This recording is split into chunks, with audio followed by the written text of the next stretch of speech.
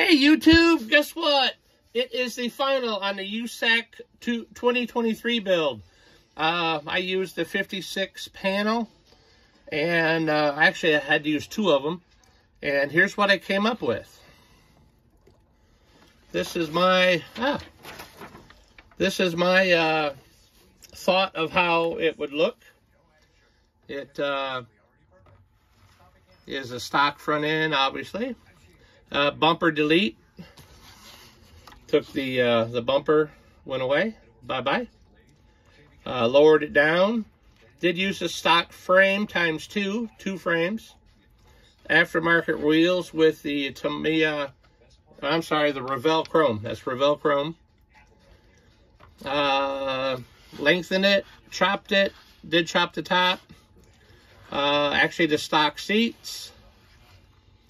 I painted it, and then I used Molotow on the uh, the runners. Uh, tail lights from a parts box. Put the uh, Big Eddie bumper sticker here, or license plate.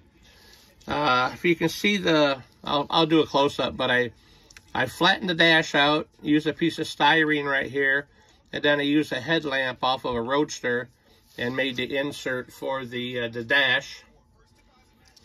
And uh, just do another spin here. All right, I'll show you what's underneath of it. Well, I'll let me pop the hood first. Take the hood off. And uh, I did use the uh, the stock motor in there. Radiator hose, stock radiator. All right, let's look underneath. And if you can see right there, I did use the stock uh, exhaust. The uh, I painted the uh, side pipes black and used those. Uh, frame is the stock frame, lowered in the front.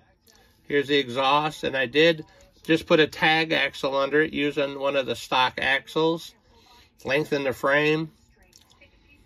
And that's what I did underneath. The uh, the paint is a, uh, it's all spray paint. I use the Extreme uh, root beer.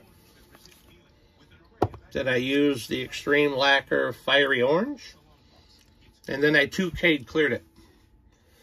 Um, like I say, though, uh, I had fun. Some things I could have done better. I used the felt in here for the flooring. I just kind of ran out of time. I wanted to two-tone this in here, but that didn't happen. But uh, anyway, I kind of like it. Uh, it had a lot of fun building this one. And uh, I I hope I can get involved with the next one that comes out. This is my first USAC build, and uh, I really enjoyed it. But there's my take on the 56 panel uh, truck, and uh, I appreciate everybody's uh, watching, and I've been watching the videos coming out. Outstanding builds out there. Very, very cool. Uh, other than that, guys, this is the Big Edster. I'm going to go build me another model. So, peace!